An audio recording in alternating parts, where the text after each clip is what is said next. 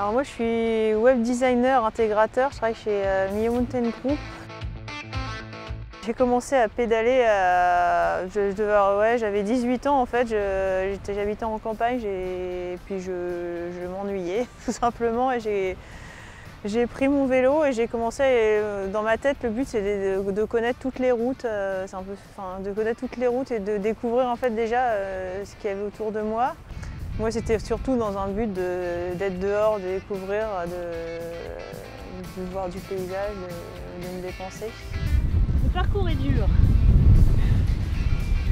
La chaleur La chaleur ça n'a pas aidé. Le biking man, ça rejoue, enfin, il y a un peu cette essence que j'aime dans le vélo où on part, on part tout seul, et, euh, mais on a quand même euh, un parcours, on a des concurrents, donc il y a quand même, euh, il y a quand même une, une, compétition, mais qui reste, qui reste saine.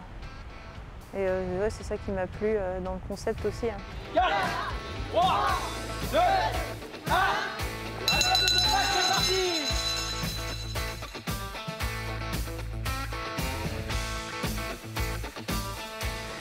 reposer.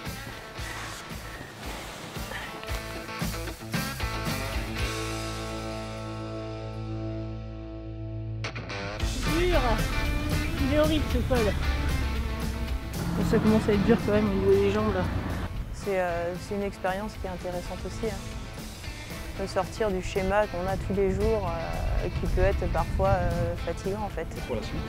Et tu bats le record qui avait été établi par Christian Rema sur un parcours qui était quasiment le même.